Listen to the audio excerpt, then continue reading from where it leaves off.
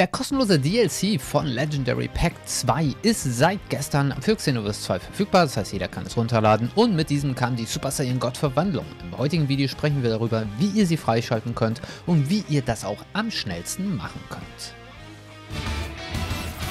Das erste, was ihr für die Super Saiyan God Verwandlung in Xenoverse 2 benötigt, ist, dass euer Spiel auf die Version 1.17 geupdatet worden ist. Das passiert im Normalfall komplett automatisch auf der Konsole und auch auf dem PC.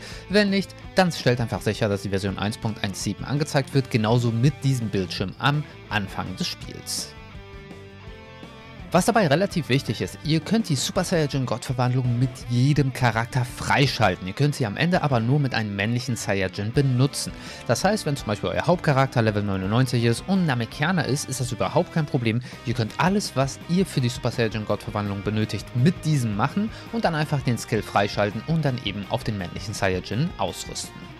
Bedeutet, ihr habt Version 1.17 und das erste, was ihr machen müsst, ist die 7 Dragon Balls zu farmen bzw. zu aktivieren, falls ihr sie bereits vorab gefarmt habt. Ich habe bei mir auf meinem Kanal bereits zwei Videos gemacht, wie ihr schnell und einfach Dragon Balls farmen könnt, aber grundsätzlich könnt ihr über Parallel Quests, die Time Patroller in sie haben, die Möglichkeit haben, Dragon Balls zu farmen. Es gibt ein paar Quests, wie zum Beispiel die Parallel Quest 4 oder die Parallel Quest 23, die sind eher so für Anfänger geeignet. Wenn ihr ein bisschen weiter im Spiel schon seid, dann würde ich euch eher die Parallel Quest 79 mit den Wehraffen empfehlen, denn dort könnt ihr diese auch relativ schnell erfahren. Wie gesagt, in den Videos findet ihr in der Videobeschreibung, gehe ich ein bisschen genauer darauf ein.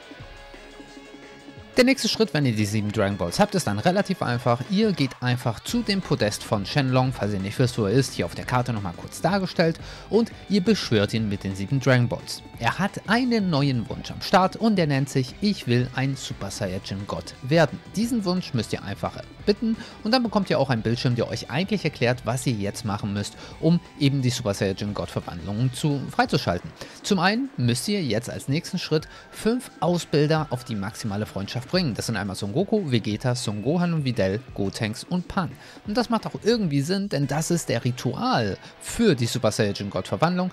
Und das bedeutet, ihr solltet schauen, welche habt ihr ihr schon. Und bei mir fehlen auch ein paar und deswegen zeige ich euch jetzt, wo ihr diese Ausbilder findet und danach auch noch, wie ihr sie am schnellsten in der Freundschaft hochbekommt.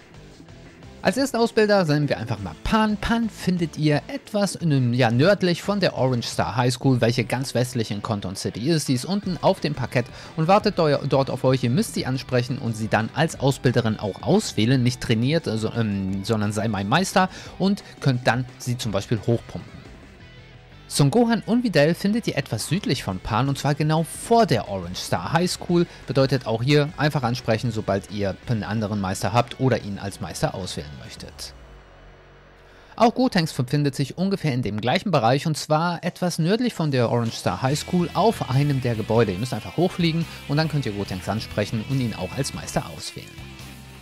Und nun fehlen nur noch Goku und Vegeta und da habe ich tatsächlich etwas, was ich euch zeigen möchte. Normalerweise wäre Goku ungefähr dort, wo auch sein Haus als Kind ist. Das heißt zwischen Son Gohan Kid als Meister und Whis als Meister da an der Kreuzung. Und Vegeta befindet sich links von den Treppen, die hoch zum Zeitnest führen, auf einen der der Erhöhung eigentlich ziemlich genau hinter den großen Zeitriss.